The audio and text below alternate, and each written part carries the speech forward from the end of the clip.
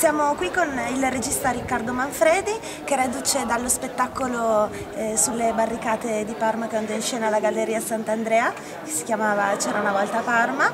Ci parla oggi del suo nuovo progetto. O che sanno essere fatti. Che andrà in scena invece al Castello di Montechiarugolo sabato sera alle 21.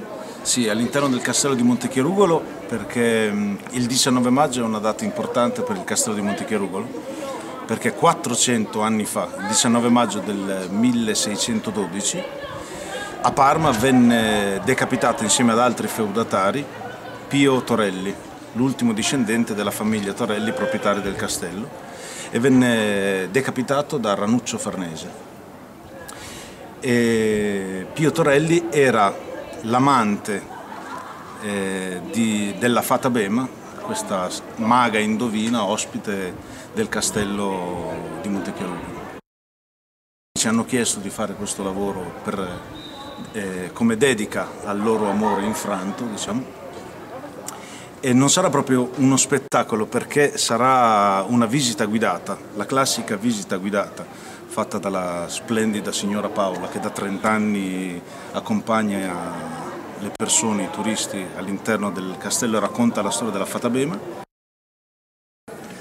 Madame Deliria è una sorta di fata bema moderna, mm. diciamo, è questa teatrante maga, una psicomaga.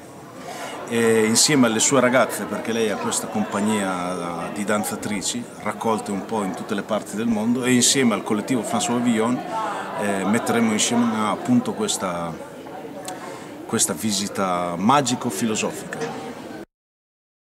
A Montecherugolo nel mese di maggio ci sono delle iniziative, ci saranno mostre, eh, tutte legate alla figura della fata e della maga. Ci saranno mostre, concerti, eh, e quindi i, i padroni attuali del castello, i signori Marchi, hanno accolto Madame Deliri appunto come figura parallela a quella della Fata Bema perché nel 1600 il castello di Montechiarugolo grazie a Pomponio Torelli, un grande filosofo e drammaturgo, eh, aveva lui aveva trasformato il Castello Montecriugolo in luogo d'accoglienza per eh, artisti, filosofi e infatti la Fata Bema, passando come eh, teatrante girovaga indovina, rimase a Montecriugolo.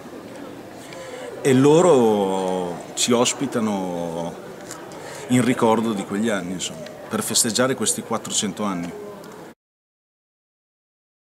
E prossimi progetti per te, per la compagnia? Ma il prossimo progetto è la speranza di poter ripetere le barricate in questo novantesimo anniversario.